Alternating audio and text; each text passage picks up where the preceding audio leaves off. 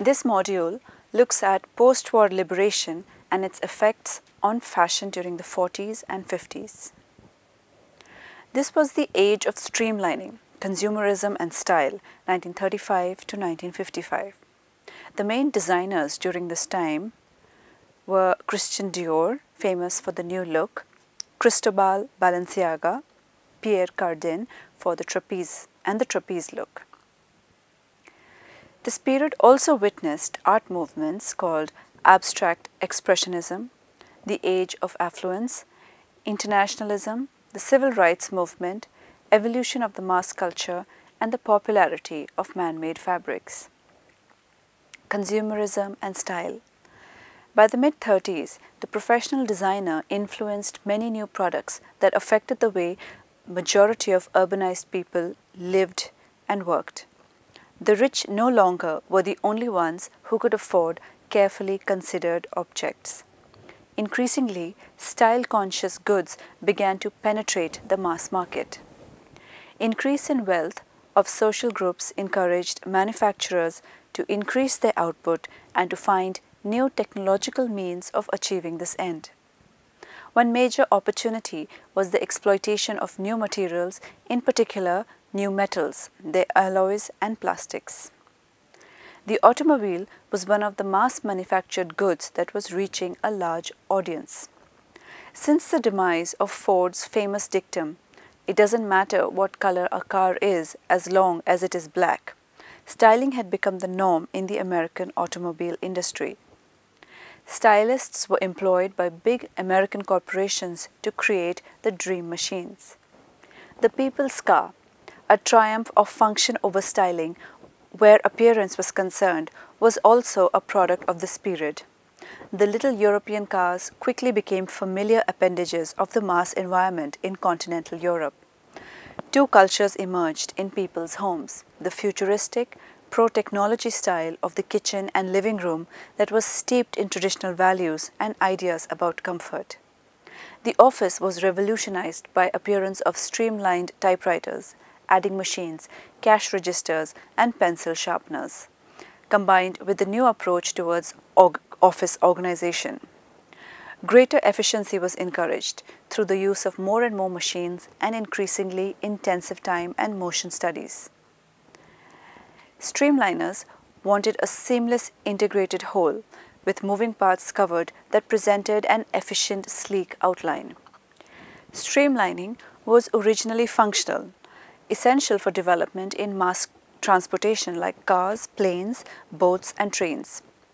International competitions spurred innovation and daring deeds of aeronautics and driving.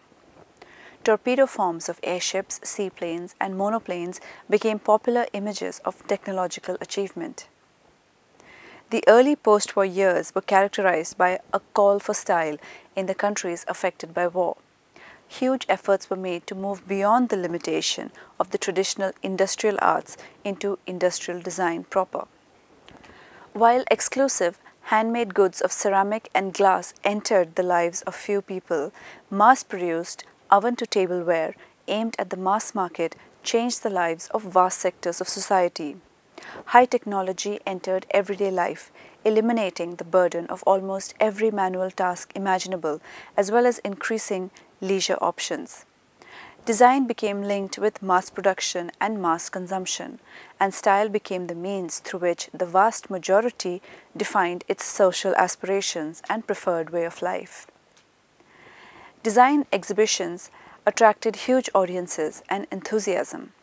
It was New York's World Fair 1939 that showed the mass potential of style for the first time. It promoted the American streamlining through architecture and futuristic products. The largest exhibitions were automobile companies, General Motors, Ford, Chrysler, etc. After the war, the large-scale world exhibitions were not revived and their roles as disseminators of style were taken on instead by other smaller, specifically design-oriented shows such as the Milan Triennials. The age of the atom exploded upon mass consciousness and the bombing of Hiroshima and Nagasaki in 1945 and continued to ripple through the design world throughout the 1950s. The molecular model consisting of primary colored electron spheres on wires orbiting a nucleus provided a familiar motif for furniture, light fittings, coat racks, souvenirs and objects d'art. Other byproducts of scientific inquiry included fabric and service designs based on crystal and molecular structures as observed under the microscope, producing liberated random patterns free from associations with earlier designs. Streamlining is derived originally from aerodynamic experiments such as wind tunnel testing for objects of transport. However, it had a number of other sources including futurist paintings, airships, tapered forms of dolphins and porpoises, and the abstract engineered forms of objects like grain silos, bridges and factory machines. To these were added the futuristic shapes and speed whiskers called used by comic book artists. These influences all combined to form a particularly American aesthetic characterized by bulbous teardrop body shells for mechanical and electrical products and expressive organic forms for decorative art objects. This aesthetic was applied to a vast range of artifacts, from locomotives to irons, regardless of their potential for high-speed movement or lack of it. The important international developments during this period were the end of World War II, Cold War, end of European imperialism, McCarthyism, the silent generation, the beginnings of social protest, the beatniks, the civil rights movement. The beatniks began as a literary movement that included writer Jack Kerouac and poets Allen Ginsberg and Gregory Corso.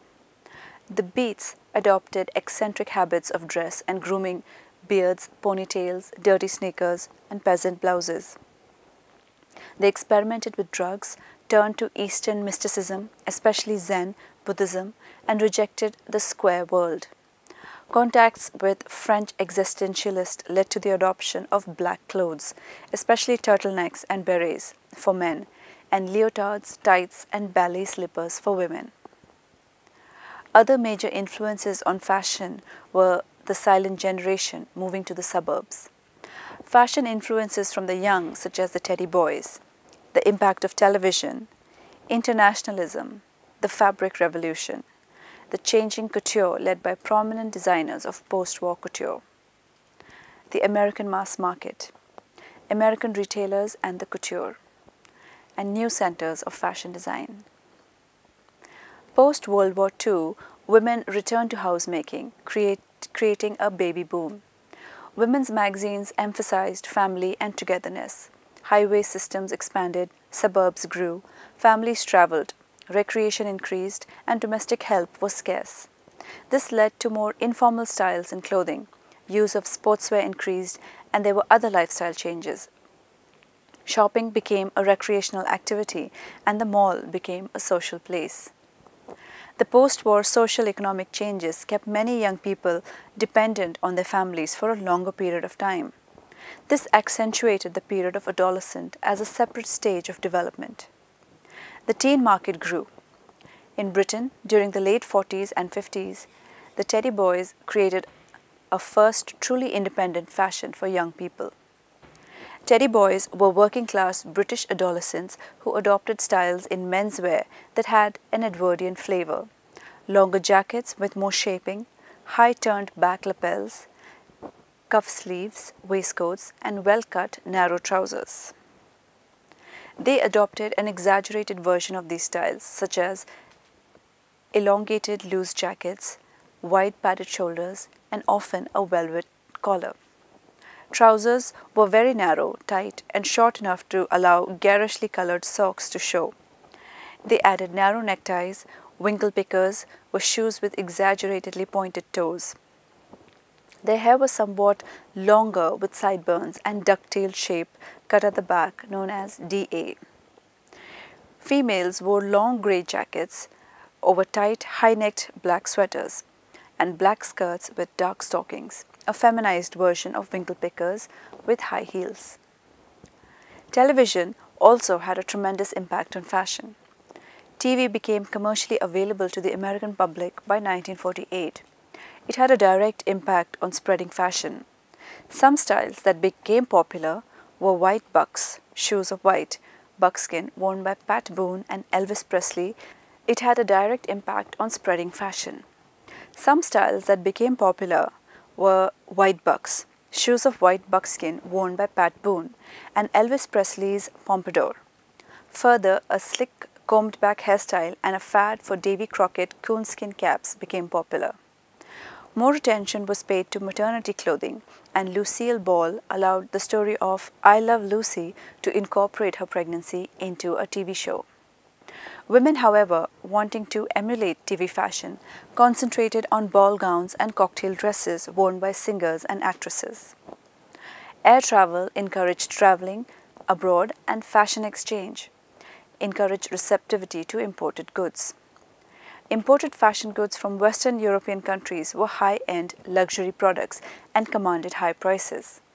Imports from third world countries of Asia, Africa and South America cost much less than European goods and dominated the low-end and mid-range markets. High fashion design took on a more international flavor. This period also saw a revolution in fabrics. New fiber, fibers such as nylon, modacrylic, polyesters, triacetates and spandex entered the consumer market. Easy-to-care fabrics, fewer domestic help and traveling encouraged the acceptance of drip-dry clothing. The use of wash and wear and permanent press fabrics began.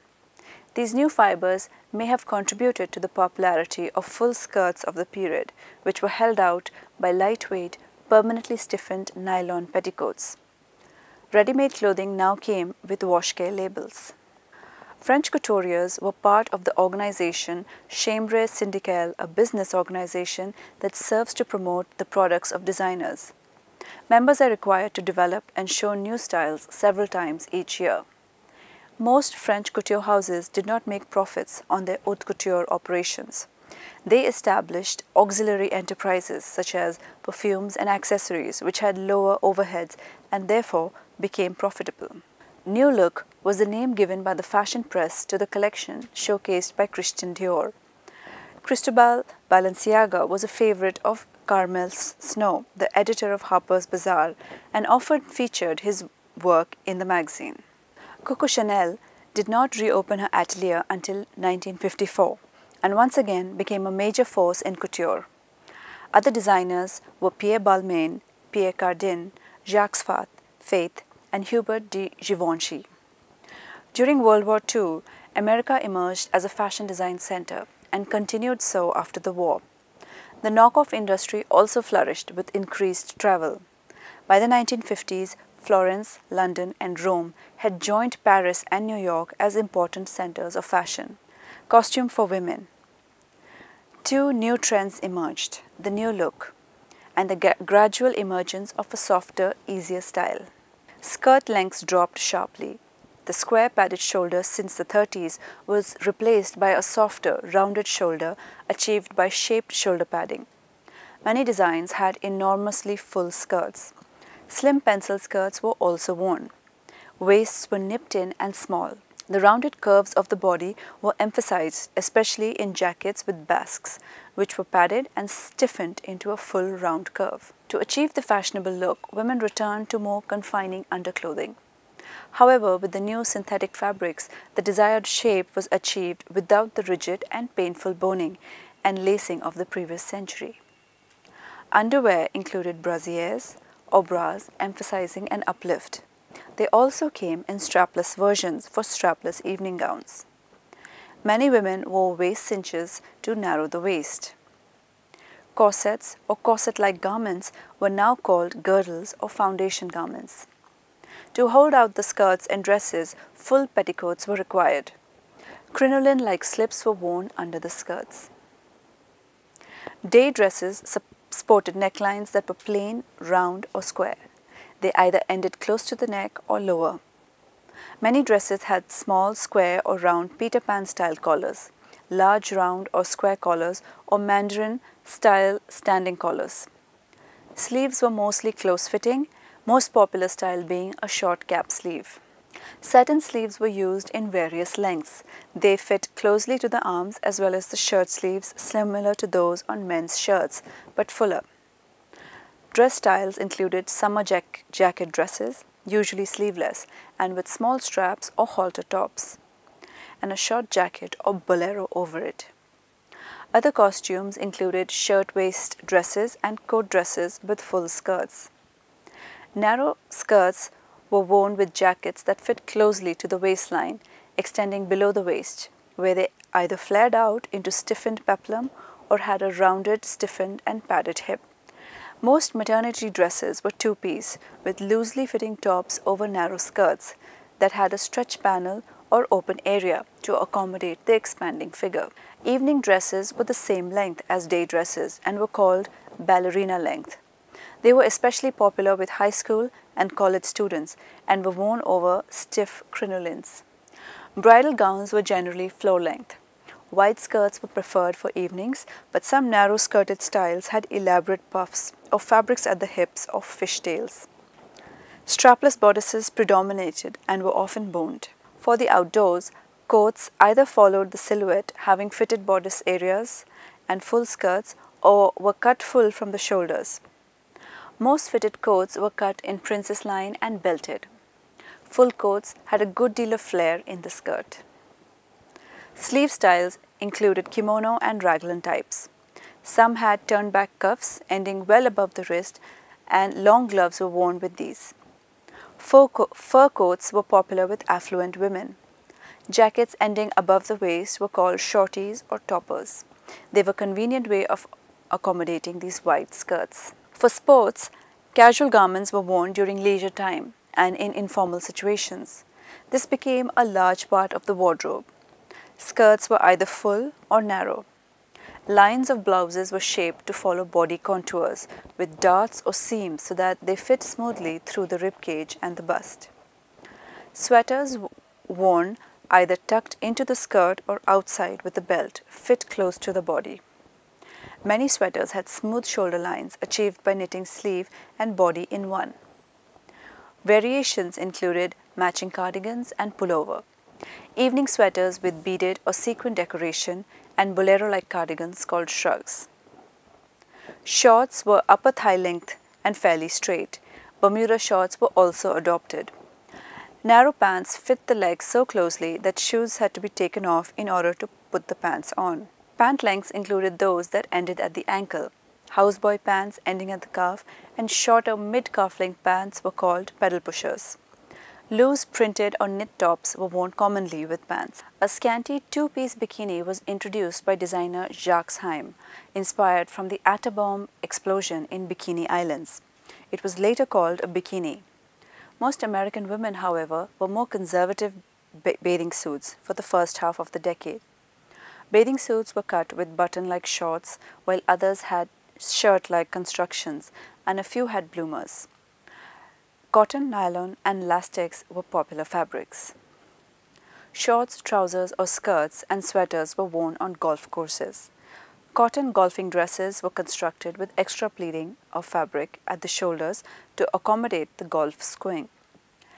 Ski pants narrowed and were worn with closely woven windbreaker jackets in bright colors.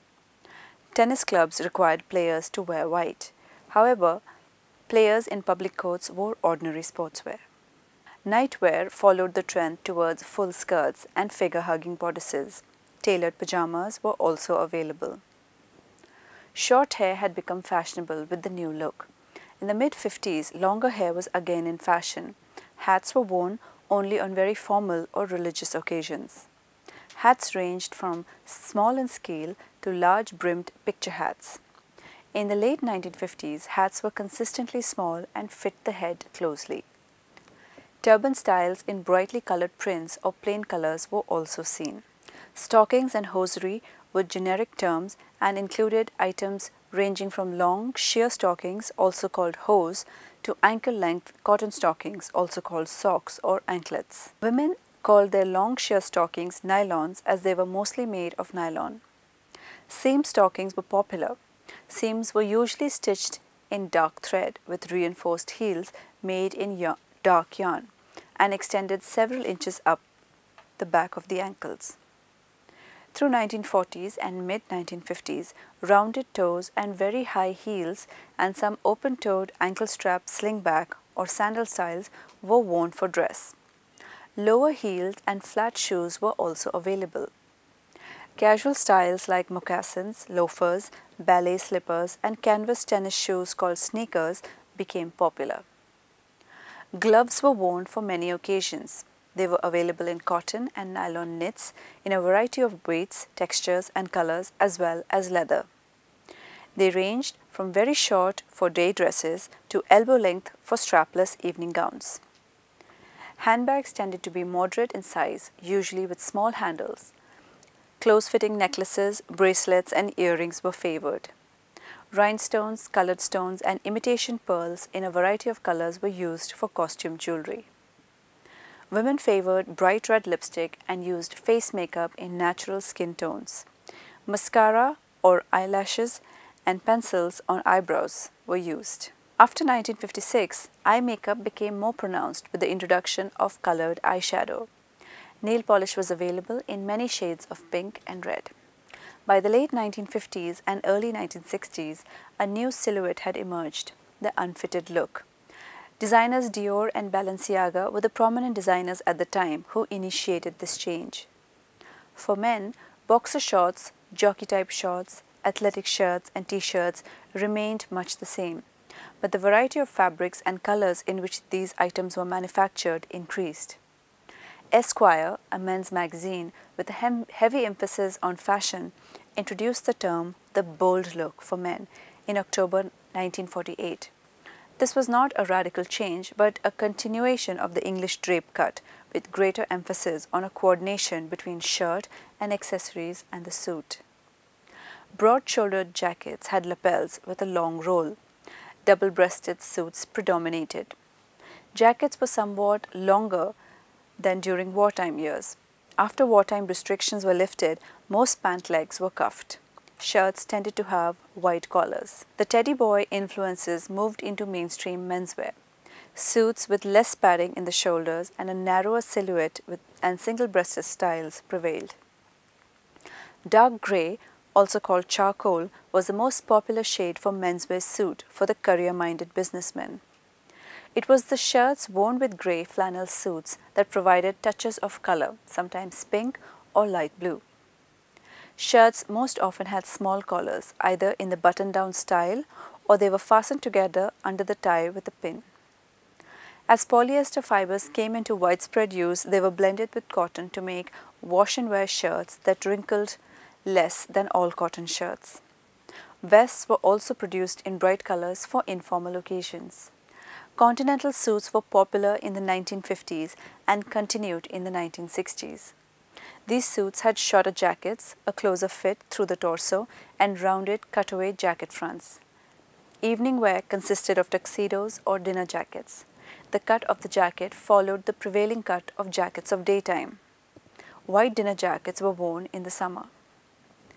In the 1950s, designs for outdoor garments featured trimmer coats with narrower lines.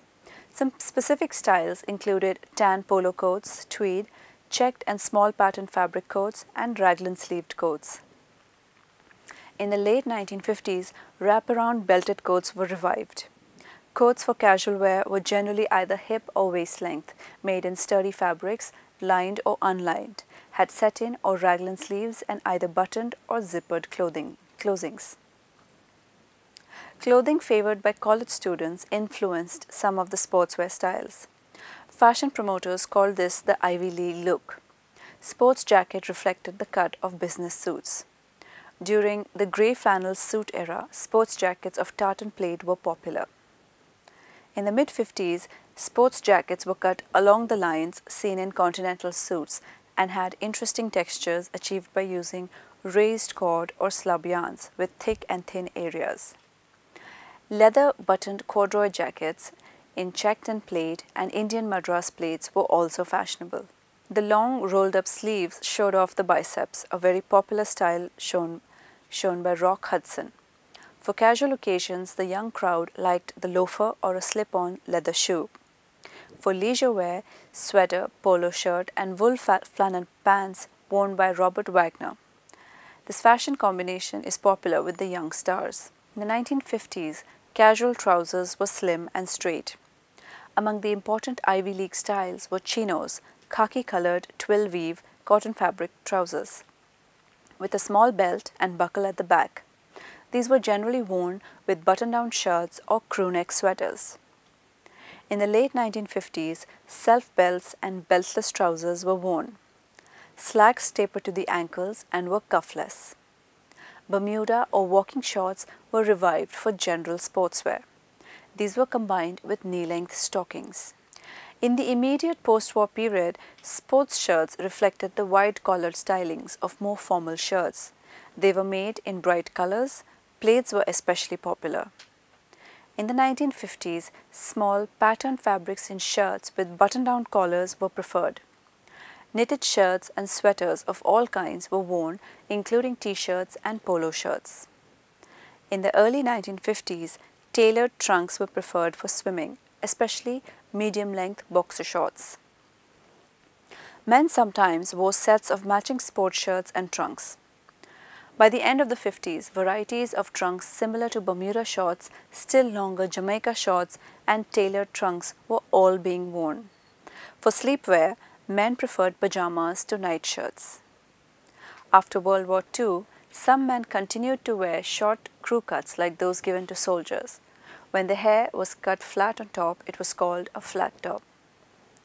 In the 1950s, a contrasting style inspired by Teddy Boys and Elvis Presley in the US had curly pompadour in front and hair at the back brushed into a DA. Older men tended to compromise somewhere in between with hair long enough to be combed back from the forehead. Fedora was the staple of men's headwear. President Dwight Eisenhower helped re-establish the Homburg for formal occasions. Straw hats for summer followed the lines of the fedora and hat brims decreased in size. Businessmen in winter wore a narrow Russian-style hat made of astrakhan fur or its imitation in synthetic fiber.